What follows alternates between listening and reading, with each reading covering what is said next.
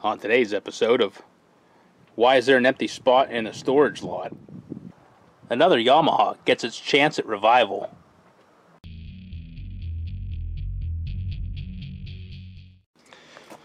So after a long period of procrastination, the old Bravo gets its turn in the shop.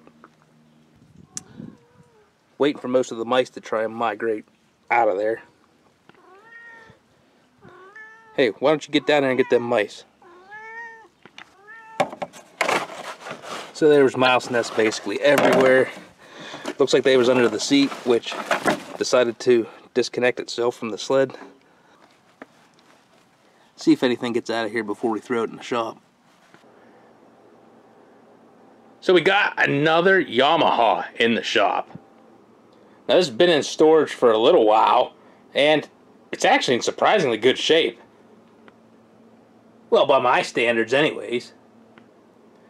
It might have been sitting in Project Purgatory for a while, but it had a nice warm spot with a cover and everything. So we got to evict all the vermin out of there and see what we got to work with. I think the cats were, well, they were at least giving it a shot at keeping the mice out. Found out that the seat really wasn't, well, there was almost no plywood left underneath there. It pretty much disintegrated when you looked at it wrong. Got a little bit of corrosion going from the mouse house down in there. And a little bit more under the tunnel, but no gaping rust holes that you can pitch a baseball through. Like a rock. Now this is not the normal type of sled that ends up finding its way into the shop. Little 250 single banger. It looks like somebody swapped in the wrong length track and suspension. But after riding a few of these in the past, got a newfound appreciation for lightness. They're just a fun little sled to beat around on. This sled ended up coming with another batch of parts. Of course, you always try and get a better deal when you buy in bulk. And the guy that had it, he was pretty cool, and I believe he was the original owner of this. Bought it back in the day, and him and then his kids just kind of played around in the yard and the fields, and that was about all the use that it got. Spent a lot of time just sitting in the shed out of the elements. So yeah, sometimes you go out trying to find a couple of old Scorpion parts, you end up coming home with a Yamaha Bravo. It happens. So being in pretty nice shape overall, we actually did try and keep this thing in decent enough storage to, you know, maintain it. It wasn't going to sit out in the weather and rot away or nothing. But I think there's finally a need for a nice little lightweight, fuel-efficient, ice-fishing type sled. This would do just the job. I mean, I've used the old Thundercat as an ice fishing sled, and it'll do the job. Definitely hard on the gas, though. And you gotta have like 28 inches of ice, too, to support the weight. Probably a good chance there's some more mice down in the air box. Already gave this whole thing the compressed air bath once, and there's still remnants of, well, mouse debris everywhere.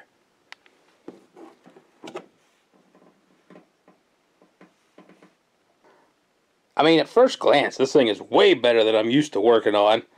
Albeit, I think it's probably not run in a solid 10, maybe even 15 years. Not really sure. Those fuel lines are petrified solid. Being that the sled's actually pretty solid overall, we might do a few cosmetic things, like painting the tunnel and skis. Now, now don't worry, don't get used to that. Gonna try and save that vinyl because we don't really want to make a brand new seat cover. Gonna have to do something about that plywood though. It does roll over and there's uh well it sounds like there's nuts falling out of the fan shroud. I actually don't see much in the tank, which is hopefully a good thing. Now, I was really impressed by the condition of the track. I mean, there might be a couple of weather checks here and there, but that track is soft and factory fresh. You can see most of the factory hardware is even in good shape. Gotta love them old stickers. Oh man, there's a crack. Might as well part it out. And a scratch too. This thing's basically totaled. So it's a little over a week later, and been delayed actually trying to work on this thing. Now you can see by that shine there, we're trying to revive the seat cover with a mixture of PB Blaster, automatic transmission fluid, at least one layer WD-40, and some old vinyl restorer. Now I don't know if any one of these in particular is going to work better than the other, but we've just been throwing them all on there in an attempt to make something work. And there's some snow and cold in the forecast, so got to try and get this thing mobile. Been in the shop way too long, taking up all that floor space. So since the engine is the heart of any sled and the most important part, we're to start by taking the skis off and painting those. You got to try for at least 30 seconds to get that old cotter pin out of the bolt.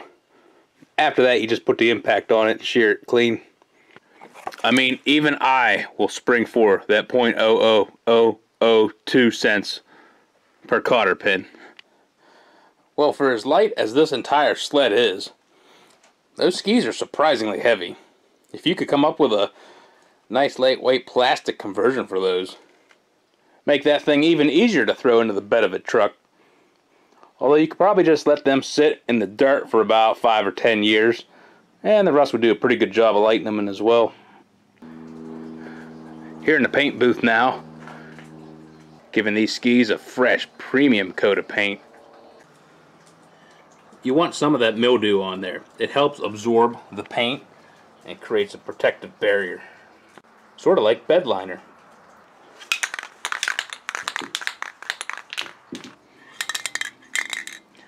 Can of paint's empty. So that means this job is done. Can't go more than one 99 cent can of spray paint on these. Alright, now that we got the critical details finished, we can move on to the remaining. First job is going to be cleaning that air box. And it almost appears that it may just have that inlet there bolted onto a substructure that is also bolted to the frame. Why do sled manufacturers have to make the air boxes such a pain to remove? I mean, it's not like you never have to remove them for service or anything. Yeah, hopefully we can just remove that part there, get in with the shop vac. Clutches look pretty decent. Got the normal rust on there from storing it with the belt on.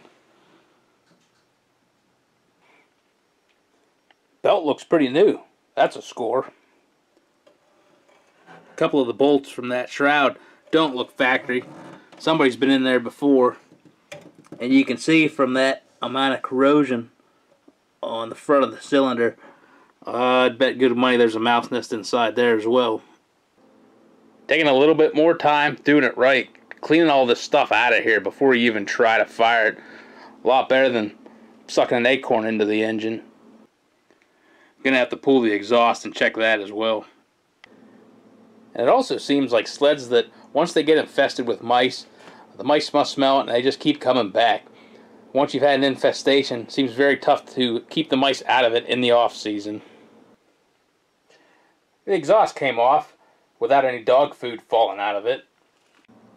This whole loop of fuel line for your gauge sight back there, that may have to get omitted because Tygon fuel line's expensive. The main fuel line, that's rock hard, so that's got to get replaced. Got to be careful to not break that plastic barb down there. So that piston looks sort of alright. But if you look up towards the top left, there is a chip missing right off the crown. Kind of hard to see. I have no clue how it got there. Don't see any damage around the squish band where stuff was kind of getting smashed between the head. The rings are still free, so they're not froze up, so it didn't crush the crown of the piston and smash the rings. What the heck, Yamaha? You can still see all the honing marks in the cylinder. Not many hours on it. So we're going to do the proper thing and just rewind and erase the last five minutes of events that we've learned and pretend like we're all good to go. I mean, just one little piece of piston being gone. Well, it's just a lightweight racing model now. Eh, not too bad. Oh yeah, it's everywhere. ShopVac's been working overtime on this job.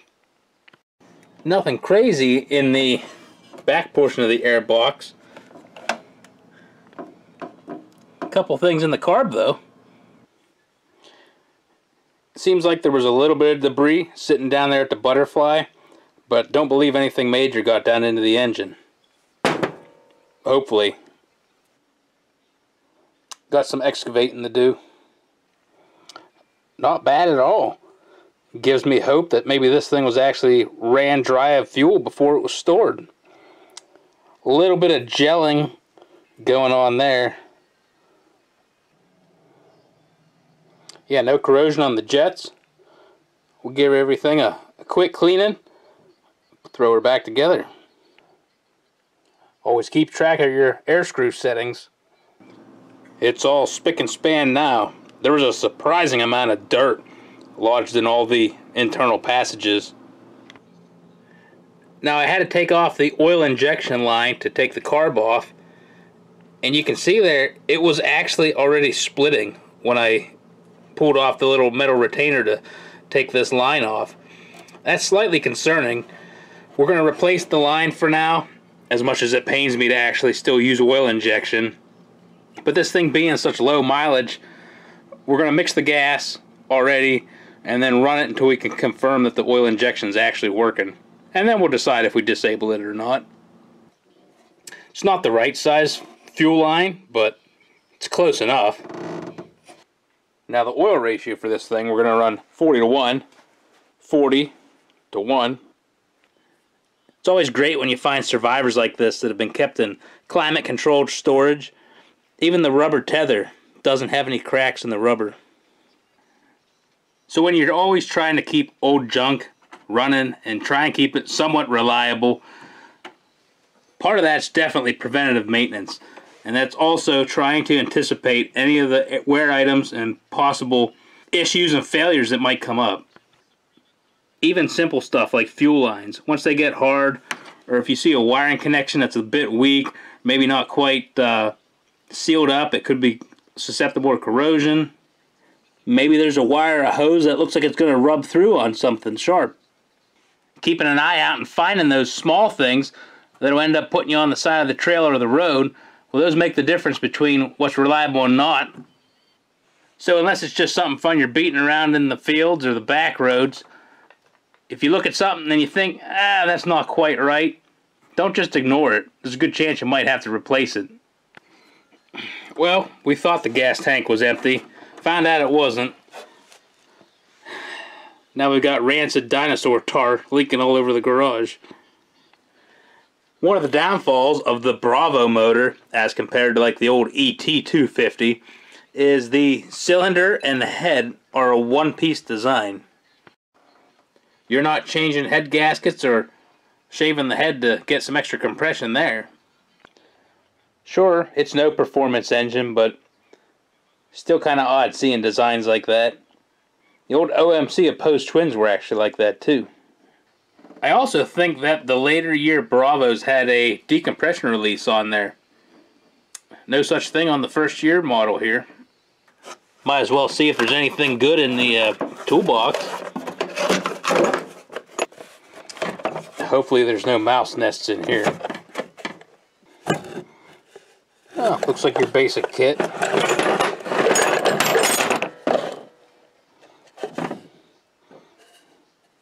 Well, no $100 bills. So you see the brand new plug in there. Always got to double check. Yep, she's been used. Nothing like being stranded out in the wilderness, going to get your spare spark plug, and finding out that it's already been pre-fouled. Oh, that thing's only half fouled. Back in the box she goes. We'll let future me worry about that. So we're down on the underside looking at the suspension. trying to find any grease fittings and thus far we're really striking out. I mean, uh, I'm sure you'll probably let me know of all the ones I'm missing, but I don't see any, so we're probably just going to spray it down with some uh, some WD-40 or a little bit better penetrating oil and call it a day. Still just amazed at how soft and pliable the track is. Things like the snow flap. Well, some of the bearings might not be the happiest, but we'll run it a little bit and see if they free up. Alright, gave the whole rear suspension a WD-40 restoration. Should be good there. Probably ought to check to see if there's any oil left in that chain case.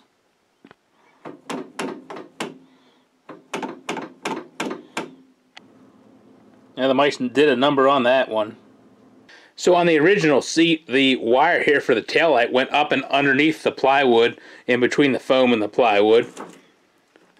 I don't think you need to do that. We're basically going to omit this connector here, since there's really no wiring left to splice onto, and just set that wire straight underneath the seat.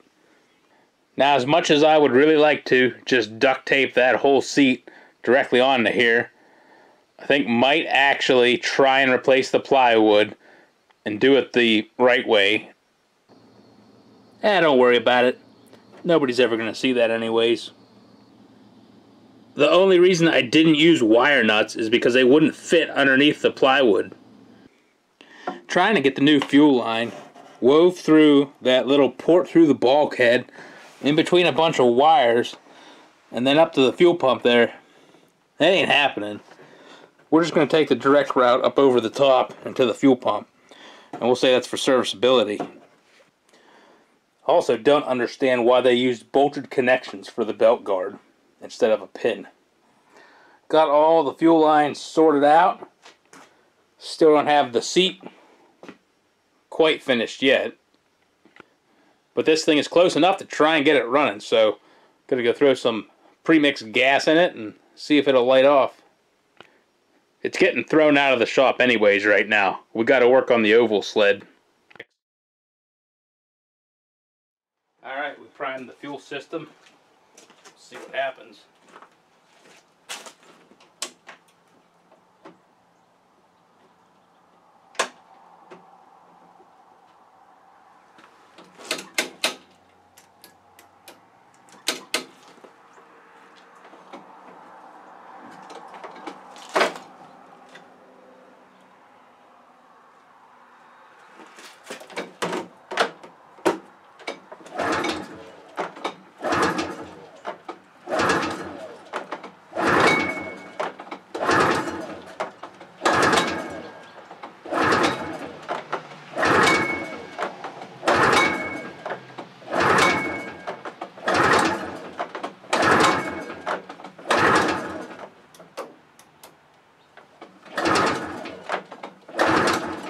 Maybe I should have checked for spark.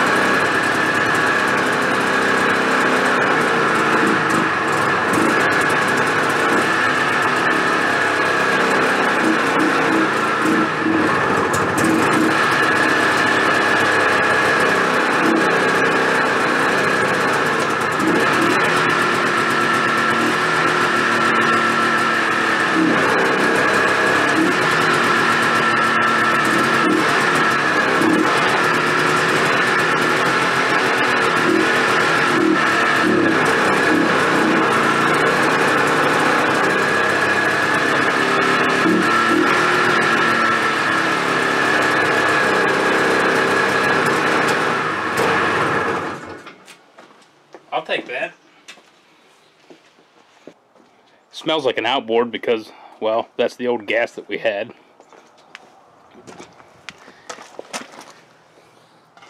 You can actually see the oil is very, very slowly starting to come up into the carb. Kind of concerned about that a little bit. Hopefully we can watch that move.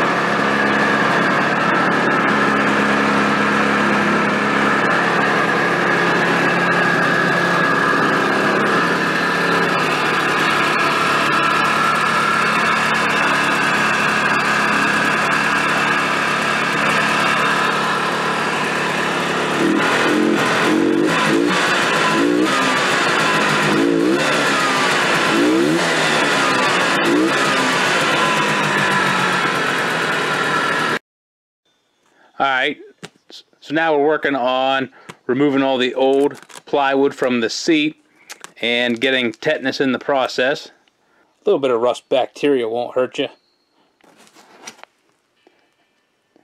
Well, you got the obligatory stink bugs. Got some really thin plywood cut up here. You don't have to worry about straight edges. And probably going to go through all this work only to have that seat cover disintegrate next season. Might just be my imagination, but after spraying the inside as well, it definitely seems to be getting a little bit softer. That's pretty much factory.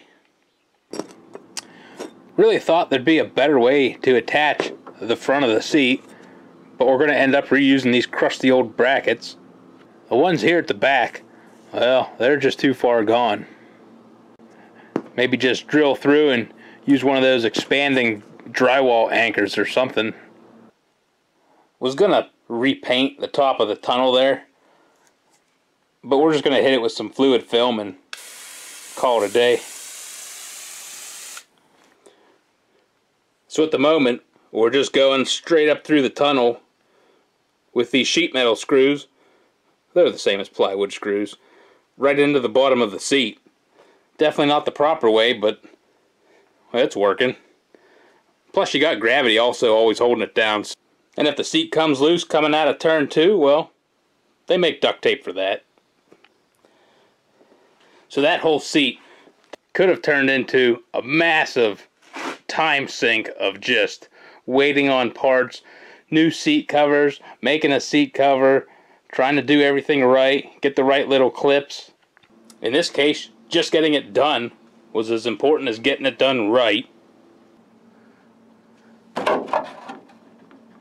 Windshield's got a weak spot, and we were just moments away from drilling and riveting that thing back together but at the last second looked under the hood they actually used bolts to hold it on mint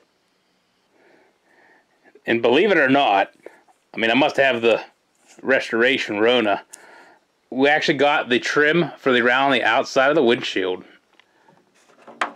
I mean main reason is it's already starting to crack and if we don't put it on there well, that whole windshield is just going to become multi-piece. Well, don't get your hopes up too much. We might end up holding this on with zip ties. It should have came that way from the factory. Had one defect up here, but a little bit of RTV and some tape, that'll set up alright. Yeah, this bottle of wax is like 10 years old, so you know things don't often get a shine around here. Well, except maybe that kind of shine. A little bit of steel wool and WD-40 even brought the handlebar chrome around.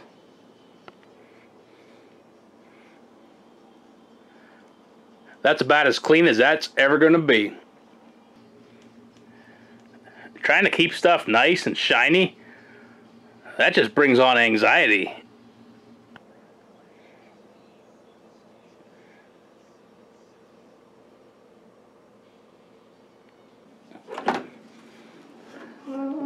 under the hood just got a splash of WD-40 and that was about it.